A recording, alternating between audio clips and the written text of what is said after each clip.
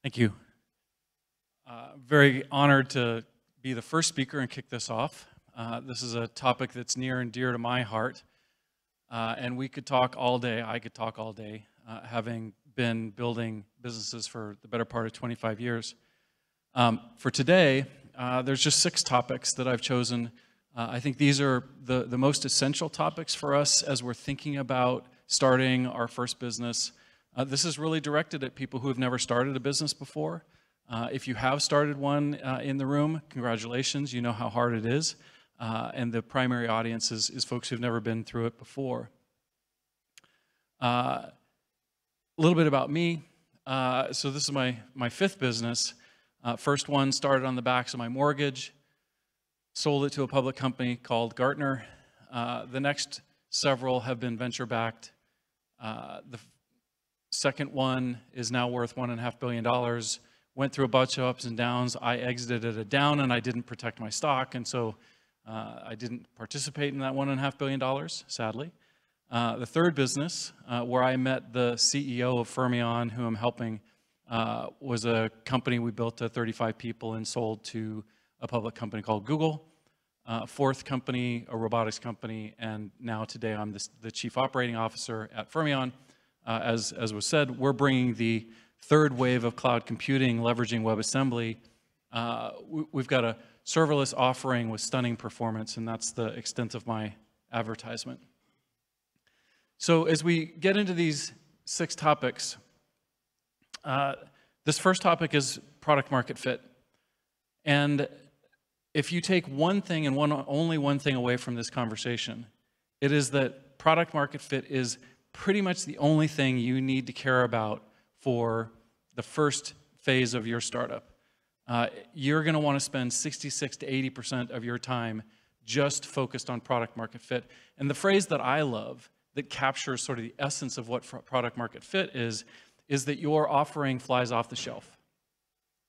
And what do you need for an offering to fly off the shelf? You need three things. One, you have to have a problem in your customer's mind that is a significant enough problem for you for them to want to solve. Two, your solution has to be the best fit solution. And three, the price has to be accessible for the problem that you're solving. If those three things are true, then you've got product market fit and your product will fly off the shelf. So that's sort of the dominant thing you want to think about product market fit. And what's interesting with an open source business is that you have to do this twice. As if building a startup isn't hard enough. When you do it normally and you know, your first product people are paying you money for, there's an exchange of value, okay, great. But with an open source offering, you have to do this twice. Your, your open source has to fly off the shelf, and then you have to figure out how to get money uh, in your second iteration for it to fly off the shelf. Second topic is capital. Uh, I believe that the best startups are driven by customer capital. And this is how you want to think. You, you want your mindset to be almost exclusively on how do I get customer capital? And if you think about this, uh, this is how business is supposed to work. It's, it's worked this way for centuries. People who have an offering go to a customer and they say, My offering has value, you're going to pay me money, and I'm going to make a little bit of money on this. And, I'm, and each time I'm going to put that money into the next thing I make and into the next customer. And if you think about Steve Jobs and, and that story, uh, you know, they were in a garage. There's a reason they were in a garage. He didn't have any money. And there's a reason why the first product they built was only 100 units. The Apple One was 100 units. It sold out really quickly, so they made some money, and they took that money and they put it into several more hundred units, and then they built the Apple II and sold those. So there was no, there was no outside capital. So that's, you know, that's sort of lesson number two. And, uh, and you want to keep in mind in that phase, you are not going to be spending a lot of money. You're not going to be making a lot of money. Uh, and if it takes a while for you to build your product, okay, it's going to take a while. So you're not taking a salary. You're dipping into your mortgage if you've got one. You're dipping into your savings. You're eating rice and beans. You're living on, on a shoestring. And most people don't want to do that. And that's why most people aren't entrepreneurs. Okay, so let's say you do want to take other people's money. Um, the thing to realize about taking out other people's money is it is brutally difficult. It is really, if you're not willing to, to part with your own money, if you're not willing to part with your savings, if you're not willing to part with your mortgage, it's really hard to get somebody else to convince convinced to part ways with with their money. And really, you know, as the slide says, I think venture capital is a necessary evil. It's not a great influence. When you think about building a business, it's hard enough and there's a cadence to it. But venture capital changes that cadence. Venture capital basically says, you have to perform faster because I need to get my money out. And, and it's really a more modern uh, construct. Right? It's 50 years old ish. Uh, I don't necessarily think venture capital is, is a great influence on startups because it, it sort of changes the discipline you need to stay focused on delivering a, a solution that is so valuable to your customers that the product's going to fly off the shelf. If you do think that you want to or need to convince somebody else to give you some money, just recognize that credibility is a really difficult thing to, ha- to have and to get and you will be competing with hundreds of thousands of no-name people that have no credibility. So you're always selling. You're always, always, always selling. You are selling when you're convincing employees to join you, vendors to support you, customers to buy your product, and venture capital. Even when you're not, quote unquote, raising money, if you're talking to a venture capitalist, you're selling. And all of the other activity you're doing with customers, vendors, et cetera, they're going to be checking. The venture capitalists are going to be checking. And the best and easiest way for you to get credibility is to have customers. So we sort of get back to customer capital um, because venture money is going to look for that, that credibility coming from customers. And the last, uh, next thing to understand about venture is they are driven almost exclusively by emotion. And those two emotions are fear and greed. Yeah, there's logic. There's always logic. They have to tick a bunch of boxes about your startup, and they do that. But ultimately, it's going to come down to fear and greed. And they are paid to be fearful. They are paid to screen out every single problem with every single business. They screen hundreds and hundreds of businesses each year, and they choose one. And they only choose one because they got greedy, right? Because there was something in that conversation, something in your credibility, there's something about the market that says, oh my goodness, this could be a home run for me. Uh, so just remember fear and greed. Uh, a note on dilution. I have this conversation with lots and lots of people. Dilution is the silliest thing to pay any attention to. It only matters in the mediocre outcome state. In the failure state, nobody makes any money, dilution's irrelevant. In the success case, your business is worth gazillions of dollars, and you're going to walk away with so many millions of dollars that you've never had before. And do you really care whether you put 25 million or 22 million dollars in the bank? No, you don't. So don't worry about dilution. Don't try to optimize for how much of your business you're giving away. Uh, just remember that cash is the most important thing for your business and get the cash. And then lastly, your job as founders, if you're going to get venture money, is to create this greed and it's to create competition amongst capital partners. When banks compete, you win. You win because you get to set the terms, you get to negotiate, and most importantly, you get to decide who's the wise advisor that sits at the board table with me and counsels me on the business. That's what you want to look for when you're choosing a venture partner if you're fortunate enough to be able to choose. Is choose somebody who's going to be a really wise counsel, counselor for you. The next topic is co-founding. Uh, most people can't start a business by themselves because it's brutally hard. Uh, it, it's the same reason that a lot of people can't get their workout routine going. They need a gym buddy, a gym friend. Uh, it's a lot easier to go to the gym and experience all that pain when you've got a friend uh, who's experiencing that pain with you and helps you get out of bed uh, and go experience that pain. It's the same thing with, with startups. Much, much easier to experience a bunch of pain with uh, somebody that you're working with. And when you choose a partner, it is a partnership. You're going to be spending most of your life with this individual for years. And what you want to remember is this is a important partnership and the singular thing you want to look for in that partnership is shared values. I, I have so many stories of partnerships and companies that just absolutely blew up because the founders did not share values. One founder wanted to spend money because you had to go big or go home, and the other was like, no, no, no, we need to be cautious and conservative with the way we spend money. Destroyed. They just ate each other apart over time. Those sorts of core values have to be agreed on. And, and my recommendation, I've written a blog post about this, is that you actually sit down and you go through your core values in rank order and their core values in rank order. And you see that you have overlap. And if your top three or four values, they aren't anywhere in their top five, get out of there.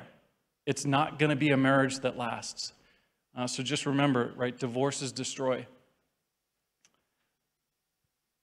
Our fifth topic build a great team. Your only potential competitive advantage is the speed at which you can operate with a pittance of resources. You need, to ta- you need to take those resources, which are minuscule, and you need to outperform everybody else who has way more resource than you do. And the only way you can do that is with a core group of people who are rowing in synchronicity in the same direction with effort and energy. That's a high performing team. You have to, you have to do this. And so, my singular ask on this slide is go read The Five Dysfunctions of a Team. Patrick Lencioni, magnificent book. It outlines exactly all the characteristics you need. Google did empirical research on their high performing teams called Project Aristotle. Go read that. Uh, that is great material. And guarantee you that if you've got 10 or 20 people who are rowing in synchronicity, with speed, with alacrity, you're going to run circles around teams of 100 or 200. And so your 2 million in capital is going to compete with 20 million.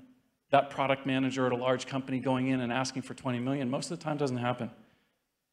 so that's your competitive advantage.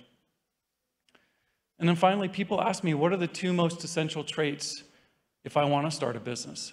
and my answer is, you have to have two. One is you have to have a maniacal belief that you have value to deliver to the world and your belief is so maniacal it borders on, on insane. It's, it's that crazy. It's that level of belief. And two, you have to have intimate comfort with the concept of fear and failure.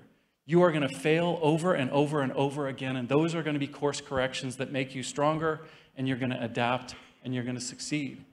And you're going to face risk and fear all the time, whether it's putting your mortgage and your savings on the line, whether it's putting employees on the line, whatever. You're going to experience that.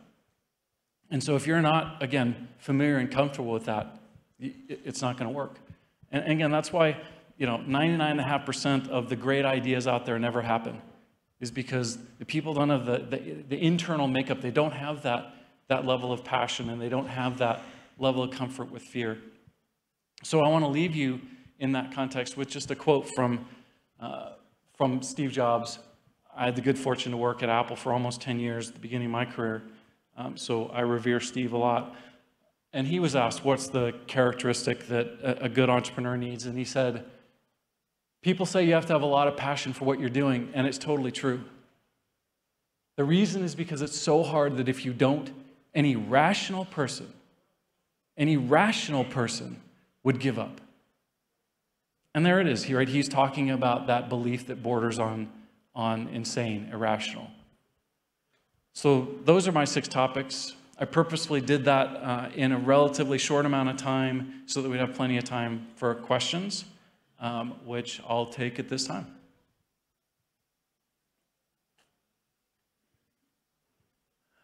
Sorry, uh, yep, on the aisle up here. Um, yes, you, the, oh yeah, okay.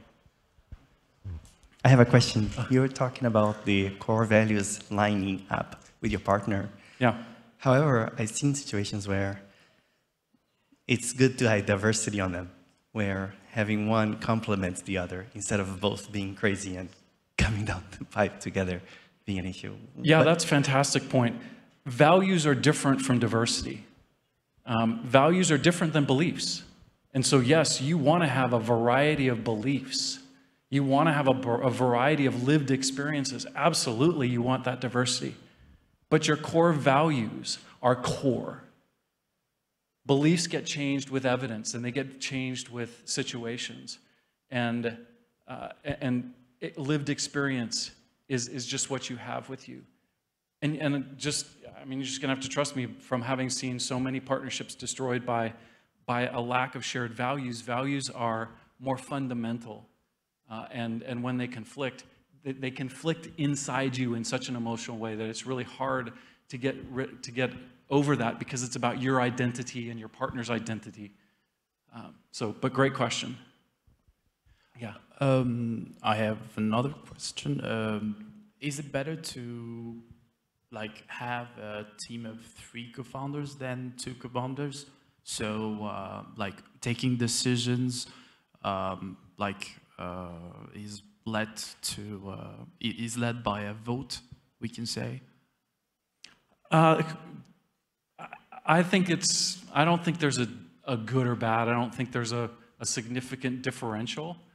I, I think when you've got three co-founders who are so committed and have that sort of uh, irrational level of belief about what you're doing, that's just a, more effort and more, more energy towards the mission. Uh, and again, when you share the mission and when you share values, usually decisions, you know, happen in a relatively straightforward way. I mean, I I personally do believe that, that groups of people don't make decisions unless it's, you know, some sort of governance like a, in the US Supreme Court. In a business, individuals make decisions. And so even if you have three co-founders, which decisions are you making? Which ones are the second one making? Which one's the third one making? And it, it's, it's, you know, there's only a few decisions that are so foundational that the three of you need to uh, get together and, and sort of debate it and come to, to consensus. Okay, so uh, so uh, a sense of tolerance should be uh, like is necessary between partners. Uh, because absolutely. Okay, okay, thank you. Absolutely. And, and it's not to say that solo founders don't succeed. They do, right? Uh, solo founders are, are often, uh, you know, quite certain about themselves and, and their mission. Uh, and, you know, and they sort of operate more as, uh, as a, uh, you know, as a monarchy. You've seen success. It's just those are, those are the few and far between uh, versus, versus teams of people who share values and, and, and a mission. Yeah. Go ahead. Uh, what do you think of uh, startup accelerators like Y Combinator then? Yeah, I think these are, are pretty essential in the ecosystem for founders that don't have credibility because that's what that's essentially what those accelerators are doing is they're giving you the first the first hint of credibility, right? By getting accepted, you're getting through a screen, a credibility screen, and capital is going to look at that and say, "Oh, great, you know, of the of all the options I have, here's the 10%, here's the 15% that got through that screen, and therefore they've got more credibility." Firstly, and secondly, um, the programs themselves. You know, I've been a mentor in TechStars since the very beginning, and, and have mentored, you know, dozen a dozen companies. The programs themselves do a great job of teaching. Right? I mean, that's a 25-minute session. Right? Those are those are 90-day immersive programs, immersive sessions. Which, by the way, the first third of it is all about product market fit. Um, so I think they're quite good. Uh, and, and usually it's worth, again, back to the dilution comment at the beginning, usually it's worth the 6% that they take from, from you, uh, and, and it's worth the, you know, however much capital, it used to be with 100,000 with Techstars, maybe it's still that way, that you get. Uh, and, and you get a cohort of co-founders, right? So uh, of, of peers, right? And that's another thing, right? Having peers, having people who are going through the same experience as you are at the same time, you know, you don't need them as a gym buddy, but in the gym, you know, seeing a lot of people who are experiencing a lot of pain, that's just, you know, that just helps get you out of bed and gives you a little bit more motivation. It gives you a little bit more of a support structure. Tim, I'll ask the next question here. When should people avoid venture capital? Right? When is it, you know, you have a great idea and you go to pitch it and they tell you like, hey, this isn't something that scales or is Always. it for, for venture? Oh, so my, my first answer is always, it's always good to avoid venture capital. You, you want to start from first principles, which is I need to get customer capital.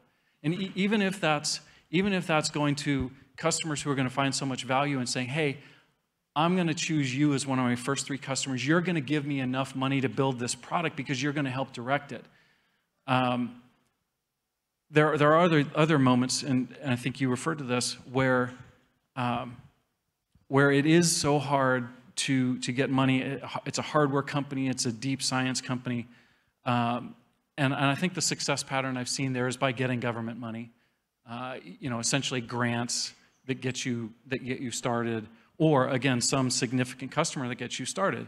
Oft, oftentimes, that is the government, right? The government may see something that's deep science, deep tech enough, uh, and and and that's your contribution is the sort of the depth of that science that you that you understand, where you're gonna where you're gonna be able to get that kind of capital.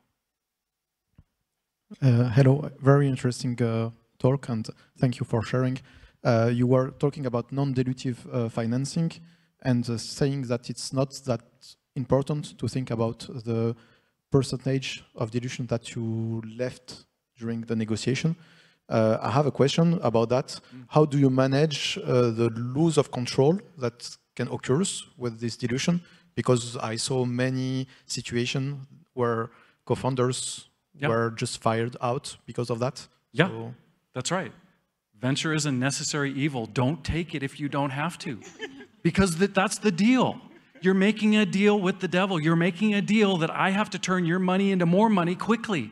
And, you're, and they are now your owners.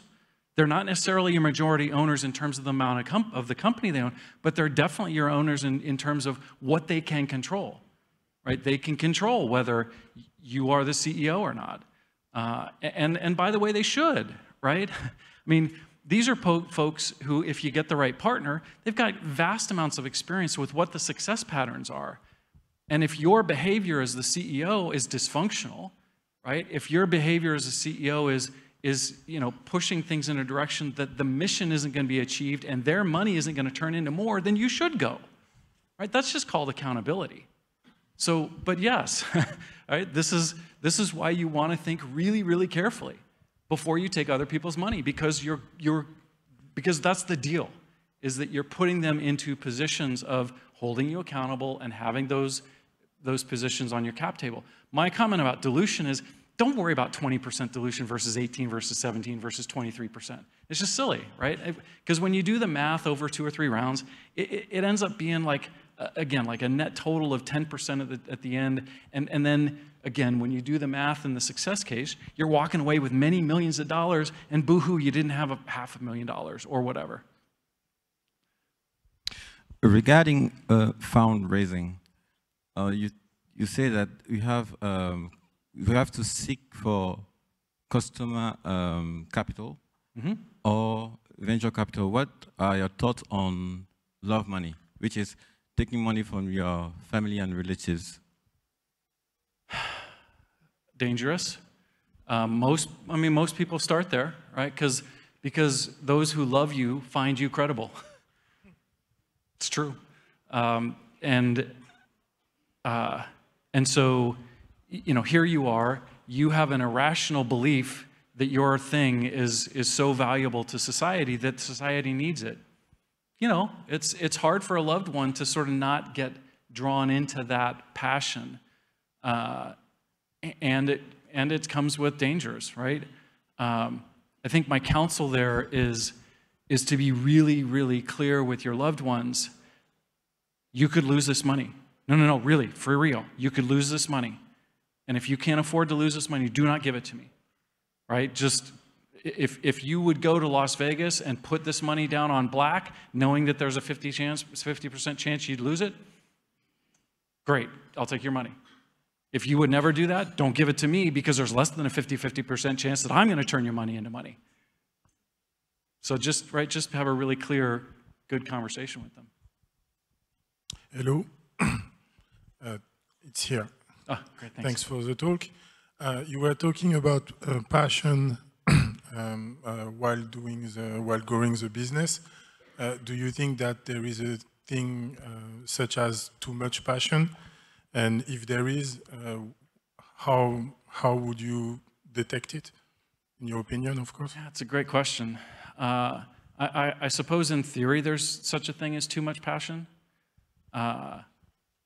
I, I think it's hard to figure out when that might be. Um, yeah, I mean, there, there's, a, there's a concept of attachment, right? If, if, you, if you embed too much of who you are as an individual in your passion, that's dangerous, right? Because then the failures are going to eat at you 10 times as much, and you're going to say, oh my gosh, I'm such a terrible person because it's my identity. Um, so, yeah, I, I think you want to. Uh, I think you want to be really clear that your passion is directed at this passion, at this concept in this moment of time. It's not, it's not me, it's not my identity uh, that's at stake here. Tim, we're going to take probably two more questions, maybe three. I see three hands. Again, right? It's a topic we could talk about all day. So I'm going to ask a question. Given that we're in an open source conference, one mistake I, I kind of see a lot where a founder is really excited about the technology and not so excited about the business part, getting customers, mm-hmm. pricing things, going through that whole motion. What is your advice when a team of founders has a you know a love for the technology, not so much the business? start a nonprofit. Seriously, just just put the put the technology into a nonprofit and be really clear with whoever is going to you know give you donations to feed your process. It's a nonprofit. If if you if you don't have passion for building a for-profit thing, don't do it. One good example would be like Let's Encrypt. I think they had a really great product, open source project, and they went the nonprofit route. Lots of people use Let's Encrypt. If you, I don't know, but they are a nonprofit. They are not a venture-backed uh, company selling a for- for- for-profit business. Would that be a good example of going that route? Perfect. Yeah, perfect. Yep. Uh, thank you for the talk. Uh, I have a question. Is there any sense in exploring venture to benefit from those success patterns they may be familiar with? Yeah, there's some benefit to it. Uh, and if you, again, if you believe that you've got the credibility, and, and again, usually, usually you're building credibility because you've, you've built the beginnings of a thing and customers are coming towards you and, and, and sort of validating the beginnings of product market fit. And so, yeah, venture capital can certainly accelerate that. And, and I think that's a great place to look at and think about taking venture capital is, is if you're sort of bursting at the seams with, oh my gosh, I have product market fit, there are customers, and I can't serve customers fast enough. That's a beautiful moment. Um, and, and yeah, they do bring a lot of wisdom and a lot of pattern matching. Um, and, and I think there's a lot of ways to get that wisdom and pattern matching without them necessarily being a part of your cap table and owning a, a piece of your business. Uh, again, unless right there's the situation where you've got um, sort of pretty clear pathways and runway um, to growth. I think maybe one more. Um, so my question here will be, when you start this business with your partners, and you know, you know, you, you're expecting to be successful, mm-hmm. and, and that's the expectation for everyone. But then when you're just you're just like starting to be successful, and you didn't agree from from the first stand, like how we're gonna divide this, like what's it, what's like the right moment to agree on what if we, you know, if we hit the pocket, like hit the jackpot, like how, how we're gonna divide this stuff.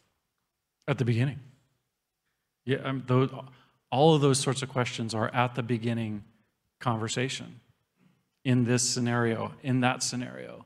Uh, and, and walk yourself back and say, are we all comfortable with the way we're going to behave in, in this scenario? Can I? Yeah, please. Okay, and but commonly, in maybe in the beginning, you're not certainly on like who's gonna invest most of their time or be more valuable to the company, and then may, you might make mistake on those decisions. Uh, yeah, this is this is true. You know, so how you split your cap table at the beginning, it, it is. It's a negotiation amongst the partners. So um, the thing I usually counsel is make sure that you have a five-year stock vesting period and a two-year vest. So no businesses, most businesses aren't going to have any hint of getting off the ground for at least two years. And so it gives you two years as a partnership to figure out who's adding value. Are they adding enough value? Are they adding the kind of value that they that they have on the cap table? Uh, and right and and after two years, great, two years of your stock has vested, and then you still got three more to go, right?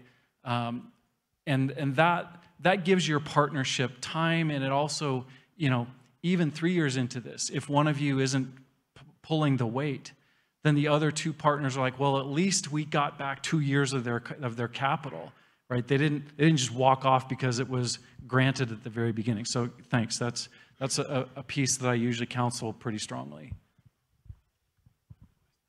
Um, is it risky if um, like um, two co-founders doesn't share the same uh, I don't know risk awareness or level or uh, um, uh, like rationality level, or is it good to have some kind of balance uh, while taking like Yeah, it's good. To, it's good to have some risk balance. It's good to have a dreamer and a skeptic and meet in the middle. Okay. Uh, you know, again, those usually aren't sort of core values. Um, it's just sort of how do I operate in the world. Yeah, but the, like the, the difference in this kind of, like kind of core value is it good? hmm Okay. Yeah, I think so. All right, Tim, I'm going to give you your last question here. Oh. There are a lot more startup employees than there are founders. And so there are a lot of people here that are probably maybe not being necessarily interested in becoming a founder, but they might want to go work for a startup. You know, one question that I've learned, there's many, um, how much runway do you have? And looking for that honest answer and why. What would be your advice for someone that's looking to join a startup? How should they evaluate that startup? How should they think about compensation, including equity? Uh, what would your advice be to them given that 25 years of experience? That's a it's a complicated question. Um, Take all the time yeah. you need. Run, runway, um, you know, runway for me, six to 12 months. You're not, you don't really have any better answer from any big company you're going to join. You know, might there be layoffs six months after you join? Of course. And might you be impacted? Of course. Right? There's no, there's no, you know, there's a, there's an impression that they're more solid, and and they're they are, you know, marginally. Um, but you know, but I would look for six to twelve months, especially in in today's world where most people can go get you know another job relatively quickly in in the tech industry. Um, you know, and then in terms of evaluation, you know, it's actually no different evaluation than an investor is doing. Is, is the market sizable enough and growing fast enough? Is your product uniquely differentiated and likely to compete, right? Or likely to get product market fit? Is the team highly passionate about it? Uh, are you passionate about this mission? Uh, and, and do they have the sort of wherewithal to execute, right? Do they have the experience in this particular problem solution set space? So, I mean, those are the basics of what, uh, of what venture capital looks for when they invest, because you're, you're doing the same thing. You're investing, you're investing your sort of marginal earning power today in return for tomorrow. And then in terms of equity, um, the, the industry is, is for the most part pretty bounded by how much equity they can give out. Uh, you know, uh, an executive is, is probably going to get no more than 1% of the equity. Uh, a senior engineer is probably going to get no more than sort of half a percent, and most people are going to get 0.1% to 2.2% as a, as a basis. A quick follow up there on the other side of this equation hiring, how fast, how are you looking for talent? Most founders I know are hiring directly from their network. I used to work with this person at company A. I want to bring them on with this thing. But then eventually, you start hiring people you don't necessarily know. Uh, what's your advice on the other side of that equation? Once you get to that point, um, I go back to values. I mean, at, at the last three businesses, we've got our values agreement. It's, it's three or four pages uh, of the core values for the, for the business.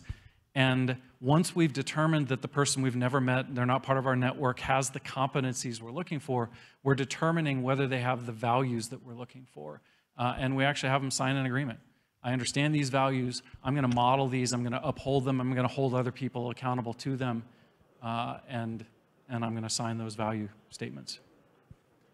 So thank you. Uh, great session. Uh, appreciate all the awesome questions. I, I, I'm glad that we spent uh, a lot of time with questions because uh, that's really the fun part of, of a talk like this. All right, thank you, Tim.